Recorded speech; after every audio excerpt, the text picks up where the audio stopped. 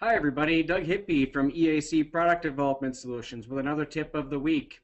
Today we're going to open up and create a map key for opening the calculator from within Windows. So the first thing that I'm going to ask you to do is go over to the command search tool and type in map. Because map keys are not listed in the ribbon, you have to access it this way. So you pick on the map key command and then within the map key command you're going to see the new button so you select that new button, you get another dialog box that gives you access to recording that map key.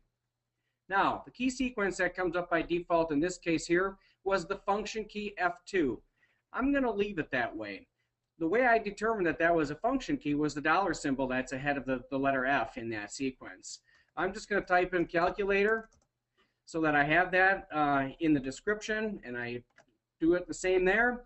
And in normal map key that you're going to run from within Creo Parametric and launch one of the commands in Creo Parametric, you would use the Creo Parametric tab here and choose what type of uh, prompt handling you'd like to have.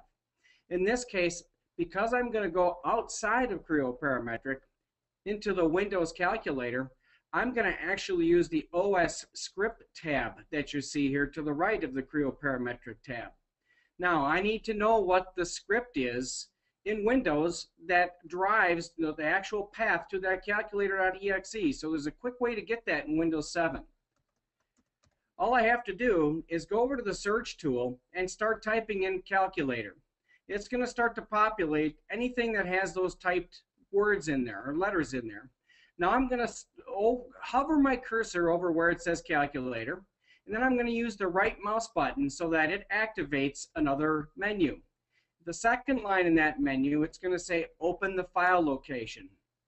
I'm going to select that file location so that it opens up a Windows browser and I can see exactly what path that is to that calc.exe command.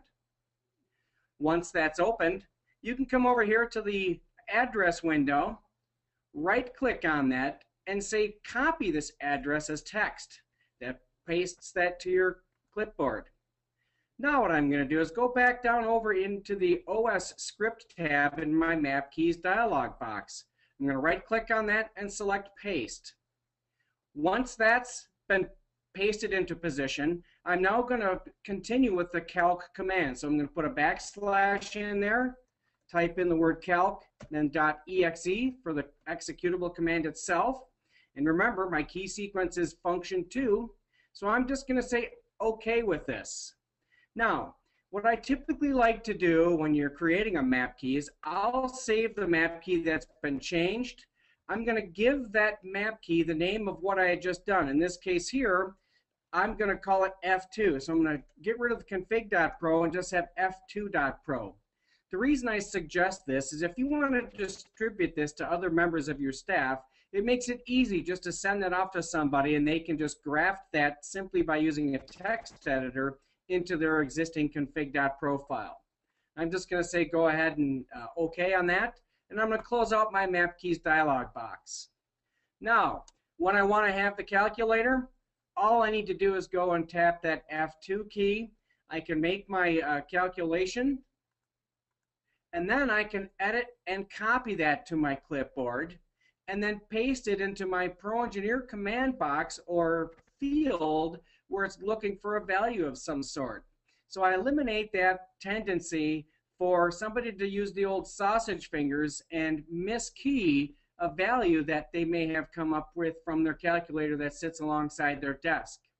You'll also notice when I close out the calculator, it closes out the DOS command prompt and puts me back into Creo. I hope you find this map key useful. This is Doug Hippie from EAC Product Development Solutions with another tip of the week. Have a great day.